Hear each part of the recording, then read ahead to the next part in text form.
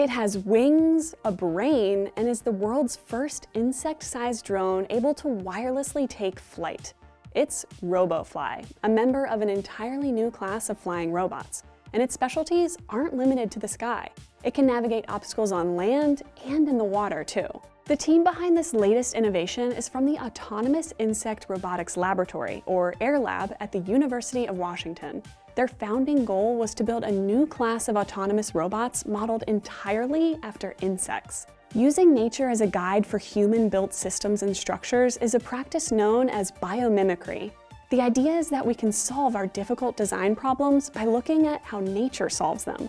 In the case of tiny autonomous bots, this can include things like figuring out what wing shape is most aerodynamic, or even how to mimic the mechanical performance of natural muscles. Biomimicry can also help us design more sustainable energy storage systems too.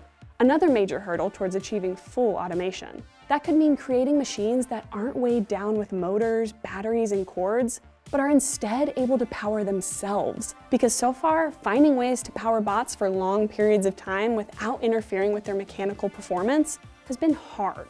But the AirLab team is close to cracking nature's code. They had their first big success in 2018 when their RoboFly became the first microbot to fly tether-free. Simply by pointing a laser beam at a photovoltaic cell or solar cell embedded in its wings, RoboFly was able to fly all on its own. A built-in circuit allowed for 240 volts to exit the cell, which a controller then sent out in waves to mimic the fluttering of a real insect's wings. A microprocessor brain was also added into the circuit board so that it could help decide how and when to flap. This is all very cool, but RoboFly was still a bit one-dimensional, so in 2020, its developers gave it a reboot. With a framework folded out of a single laminate sheet, it can now be made without having to deal with tons of tiny parts. It was also built not only to fly, but to walk on the ground and drift in the water. This ability to navigate all types of terrain and switch between different types of locomotion got the team one step closer to its goal of mimicking its biological counterpart because who wouldn't want to be as multi-talented as a fly? But the biohybrid breakthroughs do not stop there. Researchers at Harvard University, including the creator of RoboFly, chose another one of nature's little helpers, the bee, as their model for a breakthrough bot named RoboBee. One of the smallest flying drones ever developed, RoboBee has undergone many exciting transformations since the team launched their project in 2009. To be clear, tiny robotic insects capable of flying around completely independently isn't just a pure practice in one-upping nature.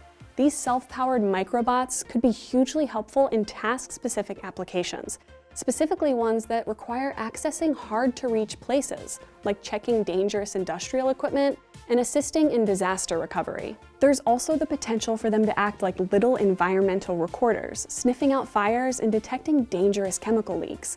The team behind RoboFly even wants to use it to study the behavior of the living insects that inspired its very own creation. But we're still a long way off from partnering with sophisticated autonomous microbots to accomplish tasks, because developing them is still pretty tricky. And while RoboFly is still an improvement on all other existing systems, it still needs some more finessing before going commercial.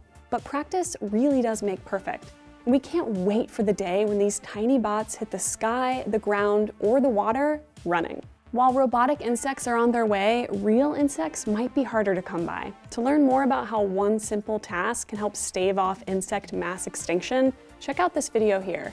Let us know down in the comments if there's any other bug-related news you'd like us to cover. Don't forget to subscribe, and as always, thanks for watching.